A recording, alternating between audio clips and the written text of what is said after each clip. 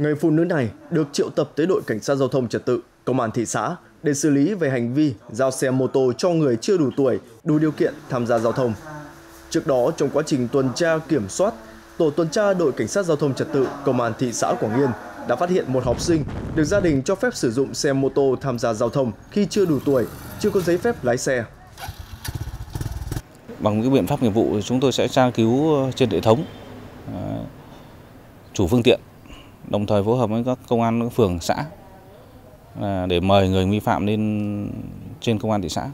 để tiếp tục xử lý vi phạm về lỗi là giao xe cho người không đủ điều kiện điều khiển phương tiện đối với chủ phương tiện. Lần này thôi, tôi cũng về, tôi mua cho cháu cái xe đạp điện cho cháu đi học và không cho cháu đi cái xe đấy nữa. Kết quả điều tra cho thấy, nguyên nhân chủ yếu dẫn đến các vụ tai nạn giao thông ở lứa tuổi học sinh đều liên quan đến những trường hợp sử dụng xe mô tô, xe máy khi chưa đủ tuổi, đủ điều kiện. Song hiện nay, vẫn còn không ít học sinh vi phạm lỗi này.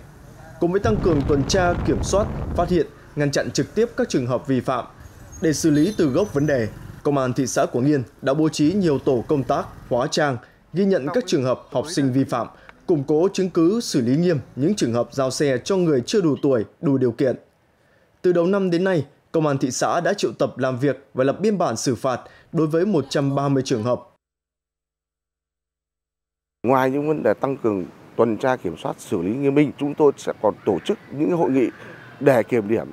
giáo dục ờ, trước dân để chúng ta ừ, lan tỏa cái cái việc mà vi phạm này lên để cho nhiều thành phần nhiều lứa tuổi nhiều uh, mọi người thấy được uh, cái trách nhiệm chung và cái điều quan trọng hơn nữa đó là gia đình nhà trường